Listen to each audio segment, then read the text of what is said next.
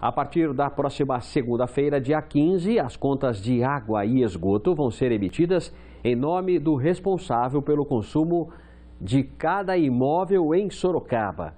Detalhes ao vivo com o repórter Cássio Andrade. Cássio, na prática, a medida protege o proprietário? Boa tarde. Protege assim, Barazal. Boa tarde para você, boa tarde para quem está em casa.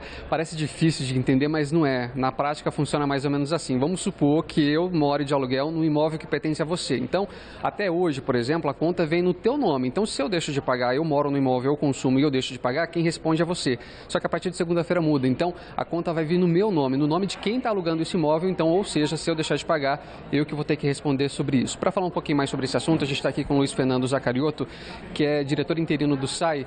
Luiz, boa tarde para você. Vamos explicar para o pessoal o que, que é praticamente essa mudança, o que, que vai vir de diferente a partir de segunda-feira. Boa tarde, Cássio, e muito boa tarde a todos que nos assistem. Bom, exatamente como você já adiantou, a diferença é que agora a conta do SAI será emitida em nome do usuário e não mais em nome do imóvel.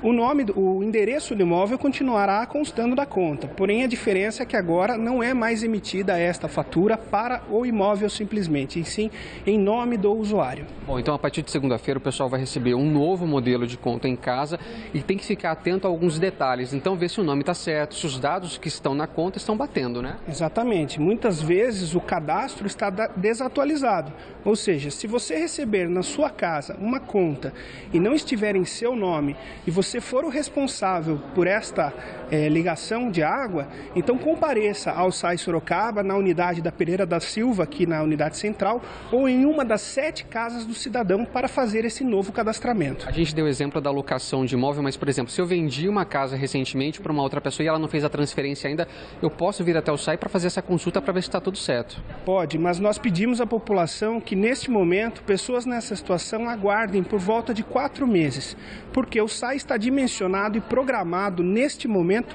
para receber as pessoas que estão atualmente utilizando a água e devem fazer o recadastramento se a conta já não estiver no nome delas. Agora, uma outra novidade é que vale também como comprovante de endereço. Exatamente. Assim como as concessionárias de energia elétrica, a nova conta do SAI também servirá como comprovante de endereço. Tá certo. Obrigado pelas informações. Barazal, vou mostrar para o pessoal de casa rapidinho, só para ninguém estranhar, né? Vai chegar uma conta diferente em casa. Esse aqui é o novo layout, tá vendo? Ó, a conta vai vir assim.